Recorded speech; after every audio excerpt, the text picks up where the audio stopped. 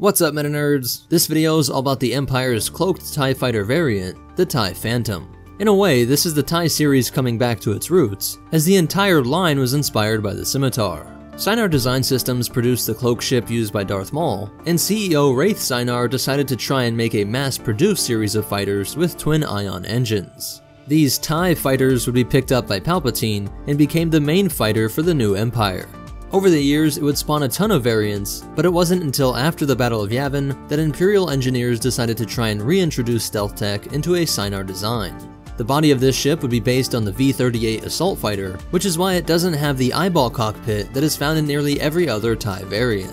Grand Admiral Martio Batch was selected by Palpatine to lead this project due to the fact that Batch was an obscure military leader with no political connections, perfect for developing a secret fighter.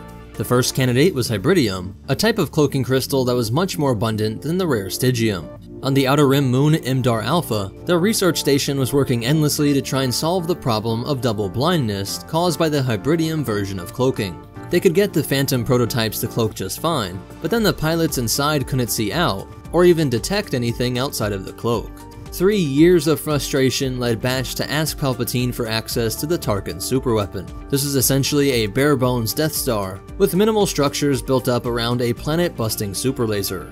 Aeten 2 was a known site of Stygium crystals, and though it would be very time-consuming to try and mine down to its crystal core, it would be incredibly easy to use droids to just scoop up Stygium crystals floating around in space. This problem was solved with a single shot from the Tarkin, turning this difficult to work world into a debris field of millions of crystals. Now there was plenty of Stygium to go around, and Palpatine saw the project was on the verge of being fully realized, so he allowed the Executor-class Star Dreadnought, the Terror, to protect the research station on Imdar Alpha. Both the TIE Phantom production facility and the Super Star Destroyer were provided with their own cloaking devices, making this entire operation completely undetectable.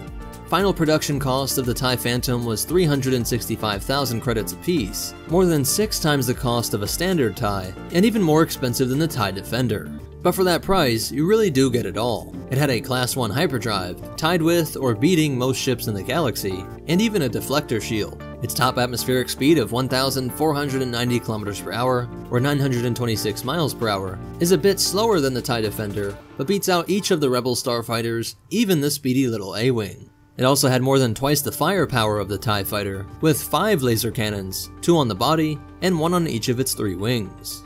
Having a cloaking device, hyperdrive, deflector shield, and 5 lasers requires a ridiculous amount of energy, which is why the whole body of this ship is just an enormous reactor, more than twice the size of the cockpit. This is also why there are so many large heat radiators and exhausts located on the front, sides, and rear. That being said, when it was cloaked, you couldn't use any of those other features, and it even reduced the speed. To help this a little, there were automatic systems that would disengage the cloaking when the pilot opened fire, and then pop back up as soon as they stopped. But perhaps most important for keeping this thing a secret was a self-destruct mechanism that would keep it from falling into the hands of rebels. And to run this thing, it required a two-man crew, one pilot and one gunner. Now when it came to debuting this ship, the Empire chose a pretty clever location. The Dreighton Nebula was one of the spookiest places in the galaxy. In the third year of the Clone Wars, Separatist and Republic forces fought a month-long battle over a Stygium mine. The Battle of Dreighton was ended by a surprise attack from Hutt and Black Sun forces that mopped up all the survivors on the CIS and Republic sides. This was considered the only battle in the entire Clone Wars in which every Separatist and Republic combatant were killed. The criminals did a great job covering their tracks, and spreading rumors that that part of the galaxy had ghost ships. Supernatural lore gave rise to the name the Dreighton Triangle, where these apparitions were said to appear. Many thought these were just silly stories, so the Empire conducted test flights in this area and attacked any rebels passing through. If any were to survive the attacks and tell their friends about a disappearing Imperial ship, they might just discount it as some crazy ghost story. Then trials were coordinated by an Imperial Nebulon B escort frigate, the Mephitis, which led an attack on a series of rebel patrols, but one of these runs was caught on a flight recorder. The rebellion now had proof that there were more to these stories, and then further information was gained on the location of this stealth ship's fuel source. Admiral Ackbar thought they had to strike immediately, sending a squadron to destroy the fuel depot and tasking Rookie 1 to work with Ru Murleen and destroy the main facility.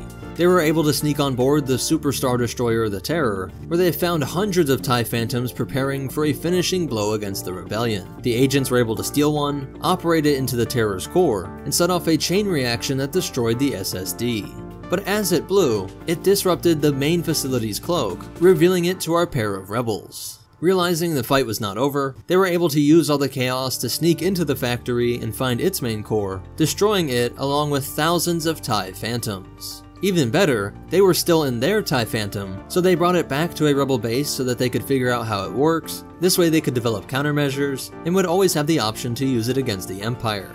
That was a great plan, until its self-destruct device blew it to pieces. This program took an incredible amount of Imperial resources, and Martio Batch had a good idea about what happened to Imperial leadership when they failed the Emperor. He fled to the Outer Rim, but was later assassinated by his own crew. The few TIE Phantoms that were not destroyed ended up being formed into Shadow Squadron, though the ability to produce more of them was lost at this Imdar Alpha facility.